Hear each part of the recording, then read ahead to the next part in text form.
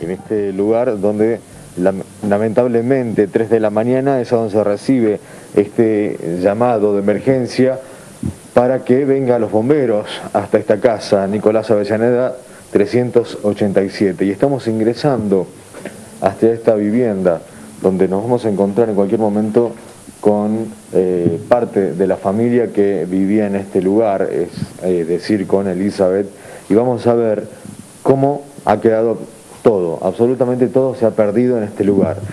Nos contaba hace minutos Elizabeth que eh, están construyendo como pueden esta casa. Elizabeth, buen día. Buen día es una mera formalidad nada más. Contanos cómo sucedió esto anoche. Eh, nosotros estábamos durmiendo, como todas las noches, digamos, llegamos, somos tres hermanos, en realidad somos cuatro, pero ya mi hermana la mayor está en su casa.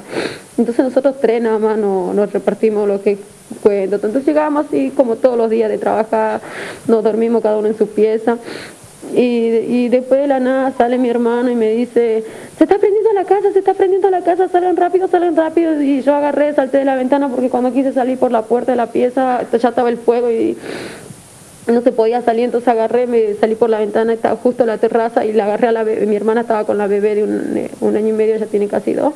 Agarramos y de ahí mi hermano dice, salgan, salgan, y gritamos a los vecinos, Ramiro, Ramiro, por favor, y Ramiro nos ayudó con una silla y pudiendo, no pudiendo, ahí sí fue que me resbalé y me lastimé un poco la pena, pero gracias a Dios nada, nada, y preocuparse, digamos, como digo, y ya cuando estábamos afuera, obviamente estábamos mal por las cosas, todo, porque como le digo, nosotros todo lo que nosotros tenemos, todo lo que está acá, es todo, es todo lo que yo trabajo moneda por moneda, ahorro por ahorro, no es que bien, como todo que mi papá nos dio todo, nosotros no tuvimos esa oportunidad, nosotros yo todo lo que tengo, él me lo conseguí yo, mi heladera, mi ropa, los colchones, la cama de mi hijito, todo eso lo compré moneda por moneda y yo no estoy trabajando bien para decir, bueno, eh, la verdad es lo que más me duele en el sentido de decir, ¿por qué no tiene que pasar con tantas cosas? Y uno trata de ponerle gana, trata de seguir adelante, pero le pasan estas cosas y vos decís, ¿para qué? La casa en la que estamos viviendo se está cayendo y eso es lo que le explicaba hace rato que nos juntamos entre los tres y decimos, bueno, compremos esto y una bolsa de cemento te están saliendo 700, 800 pesos y nosotros lo juntamos en un día, los dos estamos juntando y para comer nos repartimos, gracias a Dios, nos hicieron muy unidos, pero la verdad yo como digo, ojalá hubiéramos tenido un buen trabajo, conseguiríamos porque hoy en día está la cosa muy difícil.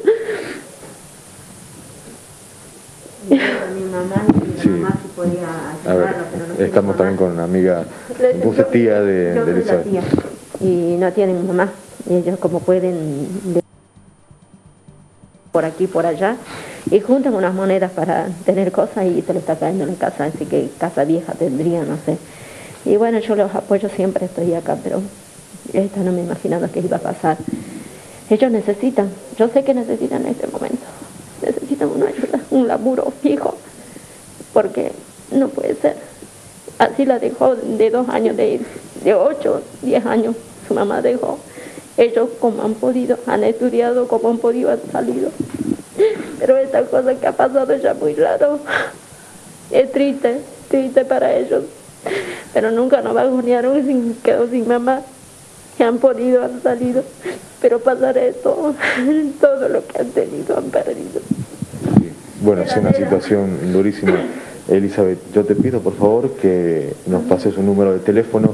Hay mucha gente solidaria que te quiere ayudar y que se van a comunicar con vos, ¿sí? Lo que necesitas eh, y un número de teléfono, por favor. Eh, sí, mi, mi número es 387 5 734 053 como digo, no, no soy de pedir nada material, nunca hemos pedido nada a nadie, todo lo que tenemos es con trabajo y si Dios lo ilumina a, cualquier persona que tiene la posibilidad de dar un buen trabajo, que sea fijo, nosotros terminamos el secundario, tenemos curso, de hecho estamos, como dice mi tía, nunca nos quedamos atrás de decir, bueno, no tenemos mamá y hagamos lo que queramos, no, nosotros siempre tuvimos el apoyo de tíos, estudien, hagan esto y la palabra de aliento siempre sirven, sirven un montón porque ella recién este año vino para Salta, pero estaba viendo en el sur y están bien, están estudiando, están haciendo esto, entonces todas esas cosas nos, han ayudado a salir adelante a nosotros. Por eso le dije, nunca pedimos nada material a nadie. Eso nadie lo puede decir. Todo lo que tenemos y lo hemos conseguido moneda por moneda, lo hemos conseguido nosotros y eso es lo que más me duele. Porque a mí me cuesta un montón comprarme cosas, comprarme ropa y me cuesta un montón. Aparte tengo visitas y yo como digo, uno como madre quiere darle lo mejor y y yo digo, necesito solo trabajar, lo único que necesito es trabajar, Diosito, por favor, te lo pide, lo único que necesito. Le digo, Probablemente vaya a llegar el trabajo, pero en este momento, para pasar el día a día hasta que ese trabajo llegue, ¿qué es lo que necesitan, Seba? Sí, eso justamente era lo que le estamos por preguntar. Eh, para apaciguar este momento, para pasar este momento, ¿qué es lo que necesitan ustedes ahora para que la gente ayude? Eh, como yo les decía, el tema de que ahora ve, ahora está mi tía, va a venir mi cuñada, nos vamos a sacar todo esto de acá, el container, lógicamente lo vamos a pagar nosotros. Y... Entonces por, un contenedor, si alguien puede, puede ayudar con eso. Después, ropa, ¿cómo están de ropa? ¿Han perdido, no han pedido ropa? ¿Con la comida, cómo están? El tema sí, la mercadería, porque un montón de mercadería, pero es lo de menos, como yo digo, siempre vamos a tener un plato de comida, gracias a Dios la gente ha sido muy buena con nosotros en el camino y tenemos patrones excelentes en eso. Yo sé que no, como decía el tema de la heladera también, si, hay alguna posibilidad de pagarla a cuotas, todo, yo no tengo problema de pagarla. No, no es que quiero nada, que no soy de pedir nada, no me gusta. Entonces, como yo le decía a mi hermana, ya vamos a ver cómo hacemos acá, o hay alguna posibilidad, hay algún, no sé, alguien que nos pueda ayudar y después pagarle, digamos, por lo menos de dos piezas habitables, porque como está viendo, se está cayendo el techo, los cables están cortados. Y quién sabe, en un futuro vuelve a haber otro accidente del mismo, digamos. Yo como digo, no necesito que me da, pero si hay la posibilidad. Necesitarían una ayuda para esto. Yo, yo sé acá, acá, disculpen que, que las interrumpa. Eh, estoy viendo que tenían todos los elementos para la construcción y demás. Esto eh, ya no podría servir, o, sí, que es lo que le... Eh, alguien que les pueda donar quizás elementos de construcción. Para que puedan ver cómo el techo se está viniendo abajo. Ya estaban empezando la construcción acá al costado, entonces el techo se está viniendo abajo, hay riesgo de derrumbe también. ¿Se sabe cómo empezó el incendio? Seguir construyendo su casa. Sí, sí, sí, por un cortocircuito. ¿Cortocircuito? ¿En qué parte de la casa fue? la mercadería en este lugar. Acá, este es el living, fue justamente acá. Acá todo esto es donde tenía la mercadería, donde vamos a tomar ahora las imágenes. Ah, toda la mercadería. El techo se lo había bombado, ¿no? que puede ser producto también del intenso calor que, provoca el fuego eh, almacenado en ese lugar. Sebastián... teníamos los sillones acomodados acá, teníamos todos los sillones acomodados acá y teníamos tres colchones, uno que se había comprado mi hermana para mi sobrinita, para la bebé, y teníamos las tres camas acomodadas ahí, teníamos la vitrina, eh, la heladera, el secarropa, eh, perdió todo, todo lo que compramos se perdió. Es tremendo. En pantalla está el teléfono. que en su momento eran de mi papá, también se perdió todo. 3875 73 40 53. 3875 73 40 53. Si bien esto pasó a las 3 de la mañana, Sebastián, ¿algún funcionario, ya sea del gobierno, la municipalidad, alguna ONG se acercó? Nadie. Nadie, nadie. Sí, lo primero que hicimos es preguntarle eso y lo vamos a hacer ahora. Elizabeth, ¿algún funcionario se acercó? ¿Alguien se acercó? No, nadie, no, nadie, absolutamente nadie. Llamé a mi madrina nada más para que me dé una mano para hacer alguna nota o algo. Pero el tema que yo le digo, el tema de la vivienda, o sea, hacerlo habitable y después darnos como una posibilidad de pagarlo, digamos. No, no, no pedimos nada gratis, no queremos nada gratis, como decir, no, no una manera de poder hacerla ambientable, como digo, mira la cocina cómo quedó, los cables quedaron todos quemados, digamos. Ya, por ejemplo, el teléfono ya no va a servir, lo mismo que el microondas, que se quemó absolutamente todo, digamos, y ya el techo se está cayendo igualmente. o sea, todo. No, no vino nadie todavía, digamos, ningún funcionario, dictado, nada, digamos, nada. Bueno, ella es lo que estaba solicitando, era trabajo, nos decía. Sí, eh, ¿Qué es lo que sabe hacer como para que la gente pueda llamarla, pueda darle un trabajo, alguna autoridad inclusive? O si está trabajando, porque habló de los patrones, que son gente muy buena, que los va a ayudar y demás. Contanos un poquito más de ella, de, Elizabeth, por favor. Está trabajando en una feria americana. ¿Qué más sabes hacer, mm. eh, Elizabeth, por la gente que quiera ofrecerte algún tipo de trabajo?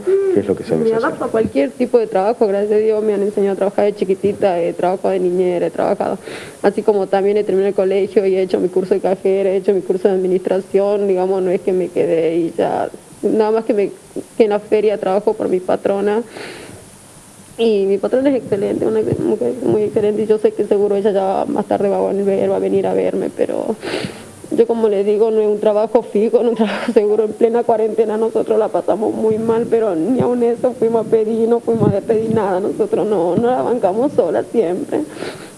Y ella siempre estuvo, chicas necesitan esto, necesitan lo otro, y como le digo, siempre se ha ofrecido a ella. La cultura del trabajo, lo está manifestando Elizabeth. 3875 73 40 53 el teléfono, 3875 73 40 53 el teléfono para ayudarla. A pesar de que ella no está pidiendo nada. Así es. Eh, pero deberían presentarse desde el Ministerio de Desarrollo Social, Municipalidad de la Ciudad de Salta, Agrotécnica Foguina, están pidiendo un contenedor. Agrotécnica Foguina tiene contenedores. Así que la municipalidad podría eh, tranquilamente hablar con Haroldo Tonini eh, o Santiago Lynch, hablar con Agrotécnica Fueguina. Eh, Verónica Figueroa es la ministra de Desarrollo, Social, de la provincia, que podrían llegarse hasta el lugar y ver de qué manera se los puede ayudar. Tiene trabajo, tiene muy buenos patrones. Lo que quieren es, por ejemplo, hay cosas que son indispensables hoy por hoy, una heladera para conservar alimentos. Dice, los alimentos los podemos comprar nosotros, lo van a acercar nuestros familiares, pero no tenemos dónde guardarlos. Una heladera, se las pagamos en cuotas. Eso está proponiendo Elizabeth, que lamentablemente a las 3 de la mañana se despiertan con este incendio que devoró la casa directamente, no les dejó absolutamente nada. Así que todo aquel que tiene la obligación de colaborar, a colaborar. Y todo aquel que quiera hacerlo, se puede comunicar con Eli al 3875 734053 Así es, bueno, eh, vamos viendo que la gente nos va llamando, espero que los puedan ayudar, nos dicen por acá en este mensaje. Eh, terrible verdaderamente lo que le ha pasado y repetimos, lo que ella solicita es la ayuda con una fuente laboral, más allá de pedir una donación de algún tipo de, cosas. Y recordemos también el tema del riesgo que tiene esa casa, esa vivienda ahora en estos momentos, si puede haber otro cortocircuito, cómo mm. quedó la instalación eléctrica. Claro, obras públicas u obras particulares que se puedan llegar para verificar. Hay riesgo de derrumbe acá. Claro, eh, lo estábamos viendo con, con, un techo abombado, seguramente por efectos del calor. Protección Ciudadana depende de la municipalidad de la ciudad de Salta y calculamos que van a ser los primeros en llegar, como lo hacen habitualmente, a través del doctor Nicolás Kripper o, alguien que se encargue de verificar las condiciones en que se encuentra y además tomar nota y dar comunicación a las oficinas municipales, cada cual para que pueda colaborar con esta situación que les ha tocado vivir en barrio Buglón Surmer a las 3 de la mañana. Reiteramos el número de teléfono y a ver si, si comienzan a llamarla a Eli, 3875 73 40 53. Repito, 3875 73 40 53. Vamos a ver, eh, nos vamos a quedar un ratito más para ver de qué manera podemos nosotros también seguir colaborando desde ese lugar.